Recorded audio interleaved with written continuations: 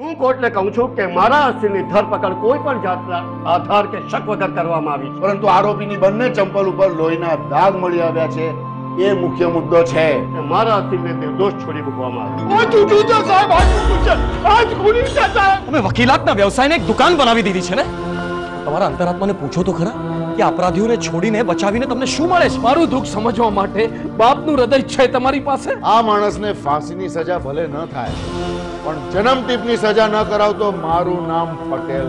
આરોપી રામલાલ પરદેશીને શકનો લાભ આપી છોડી મૂકવામાં આવે છે. નહીં!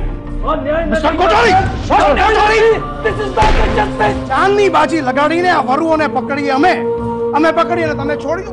એટલે સમાજ પાછો ગાળોનો વરસાદ વરસાવે અમારા ઉપર જજ સાહેબ તમે કાયદો નથી બદલી શકતા તમે કાયદાના ઘડનારને નથી બદલી શકતા તમે ગુનેગારને સજા નથી આપી શકતા તો તમે કરી શું શકો છો એક વાત ધ્યાનમાં રાખજો અપૂર્વ દિમાગ કે અન્યાય કરનાર જેટલો ગુનેગાર છે ને એનાથી વધારે ગુનેગાર અન્યાય સહન કરનાર છે ચલો કબૂલ કે કેટલાક અસામાજિક તત્વો આ દેશને કોરી રહ્યા છે પણ હજી આ દેશમાં અસંખ્ય લોકો છે જેમના હૈયામાં આ દેશનું હિત છે અને એમનું રક્ષણ કરવું આપણું કર્તવ્ય છે સર. આપણે ગુનાને ગુનેગારોને નહીં પાપીઓને નહીં, પાપ હણવાના છે, સર.